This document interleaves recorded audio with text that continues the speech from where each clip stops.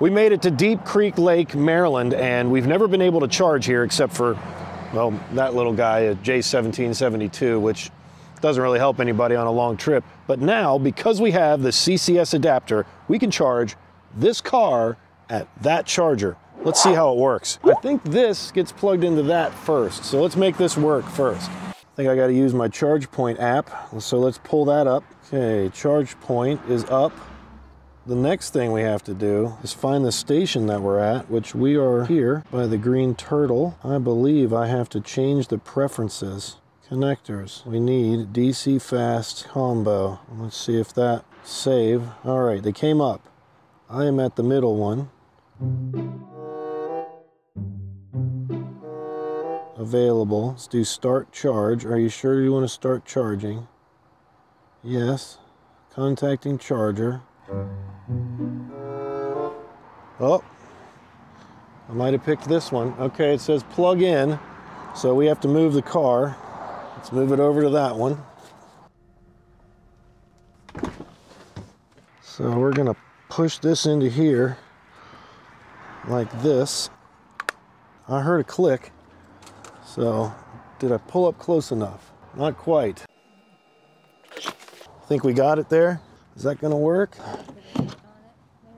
Okay, I think it's plugged in. Oh, it was too late. Start charge, start charging, contacting charger. Okay, that we heard a pop there. Okay, it says charging on the screen. Oh, contactor just opened on the Tesla.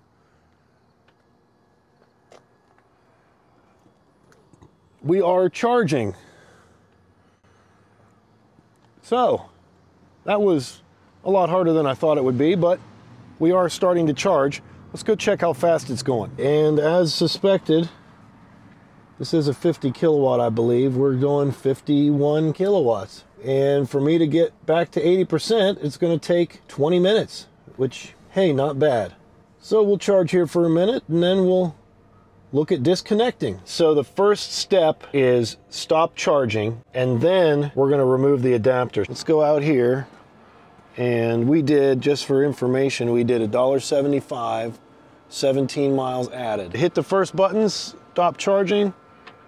All right, that looks good. Looks like it unlocked the charge port already. The next thing we're gonna do is grab a hold, I guess by the bottom here. Yeah, and it pulls right out, great. And there's my charge port closed. And we press the button.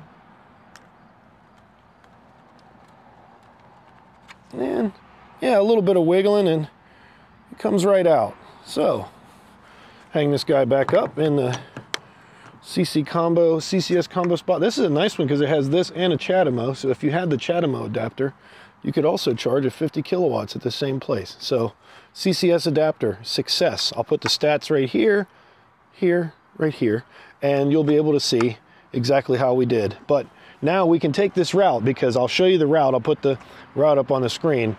There's nowhere to go around this area for any Tesla supercharging. So this route that we use all the time is now accessible to us and we don't have to make sure that we're fully charged up at home.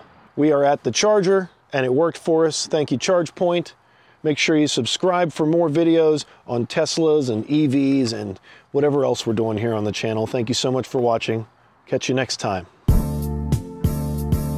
Hey, smash the like button. Thank you.